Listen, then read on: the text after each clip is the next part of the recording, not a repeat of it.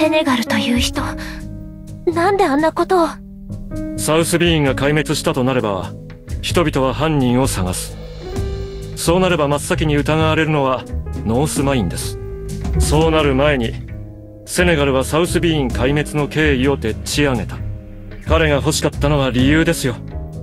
サウスビーンの人々が全滅させられるに至った理由。それを作るために、ルークは利用されたというわけです。なんて恐ろしいことを。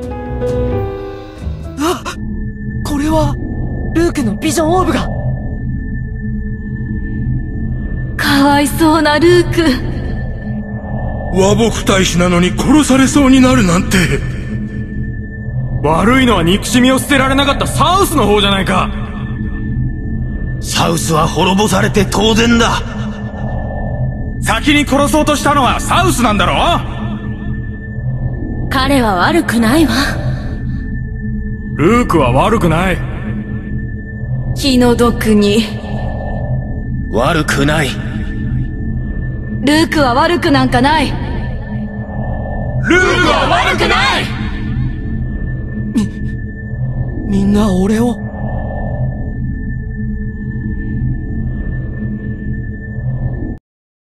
俺たちの時とは違う。ビジョンオーブ、割れてないし、光も、執行されなかったってこと？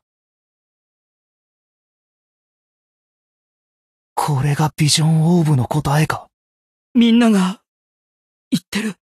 俺は、俺は悪くねえのか？知るか？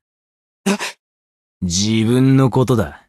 自分が一番わかってんだろ？みんなが言ったからどうとか、そんなどうでもいいことに流されてる奴に構ってる暇はねえ。俺は今、やりたくてたまんねえことがあるんでね。ああ、イージス。お前さっき俺に聞いたな。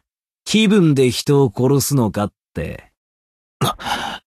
今がそうだ。俺は今、最高にクソ漁師をぶち殺して気分だぜ。はっ。遺憾だな。こんなことでお前と気が合うとは。んじゃま、向かうとすっか。ノースマインとやらによ。さあ、行くよ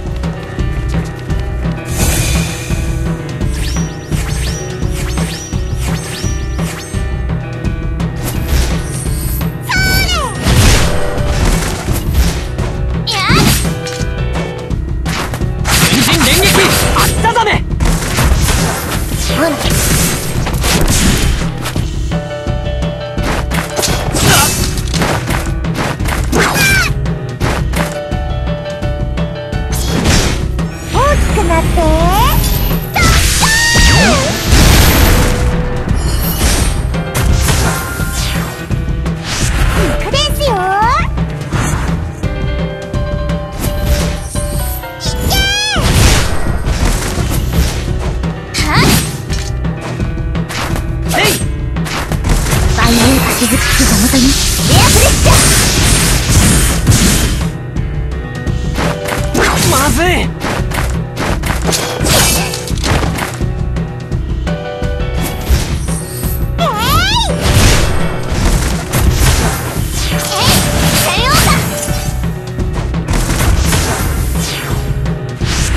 私は逃げないわ。